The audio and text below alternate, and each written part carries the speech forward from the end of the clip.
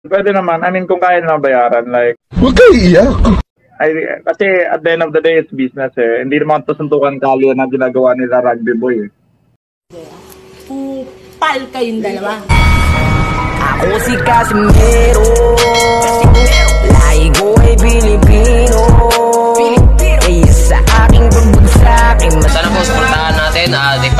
ipa-subscribe po natin Marlon Indias TV. Yes TV. ah, yun. Yan. Thank you, Ano thank you. inaabangan nyo? Pindot na!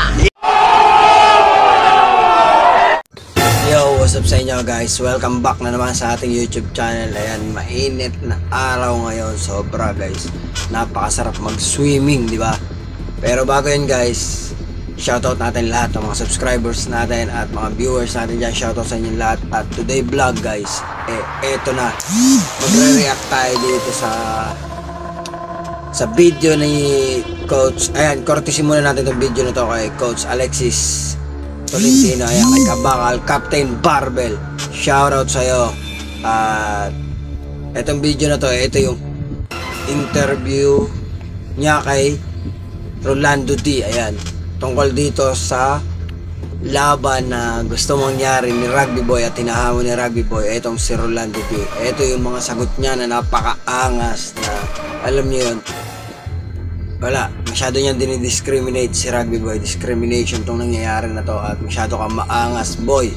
Baka pagdating sa loob ng ring, eh, ewan ko na lang. Pero tara, samahan niyo ako. I-react natin to, guys. Ito na yan, guys. Panoorin natin itong mga pinagsasasabi na itong Rolando din na to. Let's go. Yung mga tanong-tanong yung mga tao at ito ang uh, bagito natin. Si Randy Boy, gusto ka raw labanan, meron mo pagkaasang matuloy to kung sakasakali. Kasi alam ko lumalaban siya international. Wala to, wala, wala. I don't, I, I don't think so eh. Kasi, pwede naman, pwede naman. I mean, kung kaya na bayaran, like, I, kasi at the end of the day, it's business eh. Hindi naman ito suntukan kalye na ginagawa nila rugby boy eh.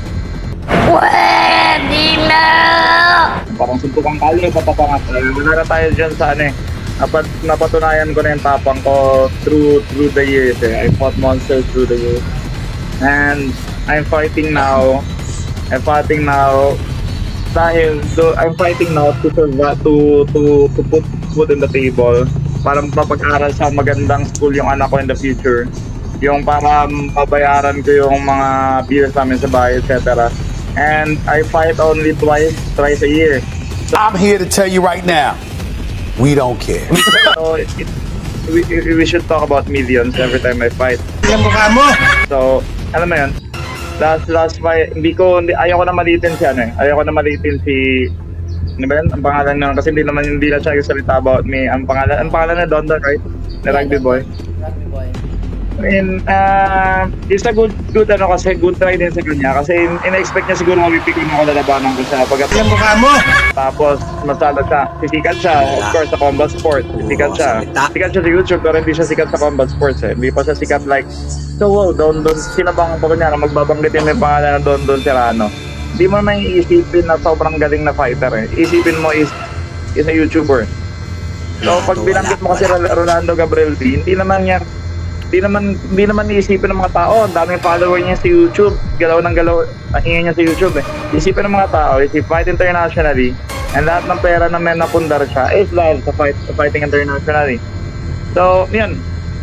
Kung meron, sa, kung meron ang organizer, kung meron organizer who will pay me as as near, hindi naman kinakailangan sing laki, hindi naman kinakailangan sing laki ng na binabayad sa akin internationally. Boy, binabangungot ka, gago. if near to that, why not? I mean, I fought, I fought, I fought the number two in Russia, and before, without, without, ano, without, without, ano, without any, without second thought. Binabanan ko yun. Lumaban din ako in, for the World Championship. I fought a World Champion in Gaza, uh, from Kazakhstan. I'm here to tell you right now, we don't care. Hindi na ko yun, tinalo ko yun. At yung eh, World Champion ng kickboxing, ninakaut ko sa, sa UAE. Pwede na Ba't ako matatalo sa isang dondo na na sobrang liit at taba pa? Yung mukha mo! Diba? So, ay, if, if somebody can pay me, tag ako, then why not, diba? At then, Guys, napanood nyo naman at narinig nyo ang pinagsasabi netong Rolando din na to. Ayan, na si Rugby Boy daw ay maliit, mataba.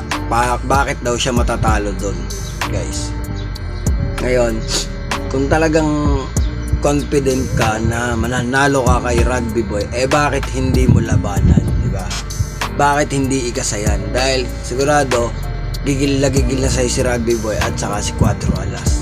Handa naman pumusta si Quattro Alas kung pera-pera lang ang labanan para sa best friend niya si Rugby Boy.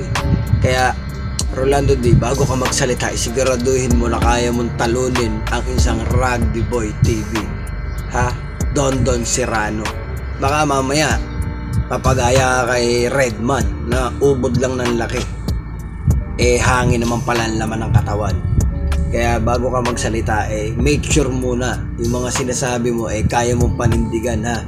Pang international ka, eh, si Rugby Boy, di naman may mga laban na international na. Hindi lang naman ikaw. Kaya, huwag kang masyadong mamaliit at huwag mong maliitin si Rugby Boy.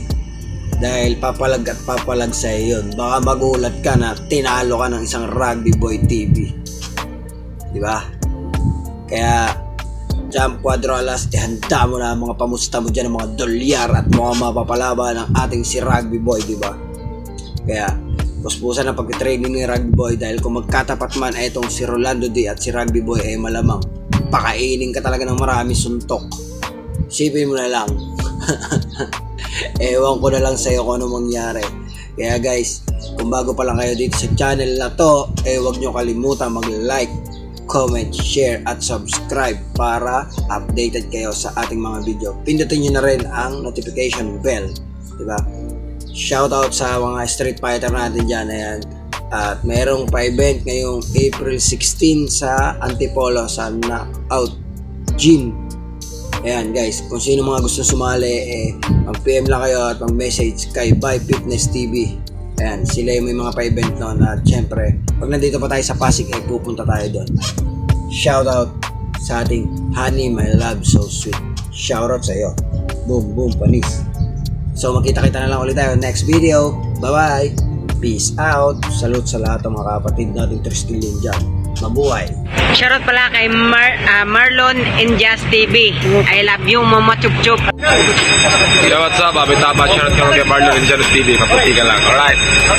Isang napakalupit at mandirigmang shoutout kay Marlon Indias, ha? Isang tunay na mandirigma yan. Puntahan nyo yung channel niya. Dahil yan, malupit. Ha? Nag-iisang mandirigma, mas bulit. Ang bumangga. Iba.